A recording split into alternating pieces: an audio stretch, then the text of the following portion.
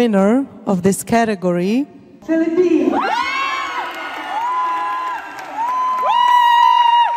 Kilala sa kanilang signature choreo capella or choreographed capella na isang masining estilo sa choral singing na sinaliwan ng pagsasayaw.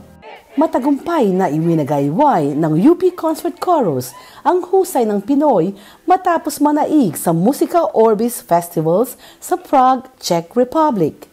Tinalo ng UPCC ang 17 bansa, kabilang ang Czech Republic, Poland, Ukraine, Belgium, Finland, Germany, Norway, Italy at USA.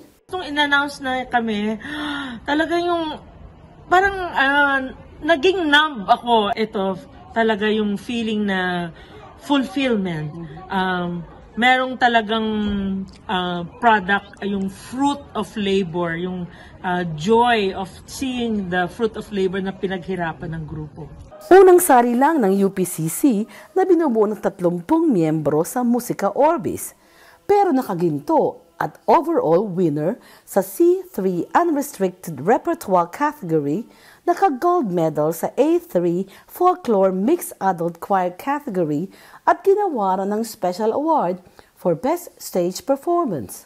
Kabilang sa winang pieces ng UPCC ang Laygandangan, Malinak Laylabi, Tuksuhan at iba pa. Hinangaan din ng UPCC at binigyan ng standing ovation sa kanilang pagtatanghal sa iba-ibang parte ng Europa. Äh, jetzt schon das dritte Mal mit dabei, dass der Chor hier Ang mapakinggan ng musika ng koro ay isang pagpapala at natutuwa akong maging bahagi nito.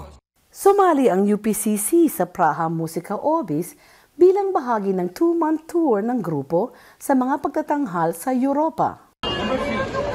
Sa kanilang pagdating sa Pilipinas, inuwi nila ang malaking karangalan na bunga ng pagsisikap, umaapaw nilang talento at dedikasyon. Para sa TFC News, Jessica Domingo Gross, ABS-CBN News.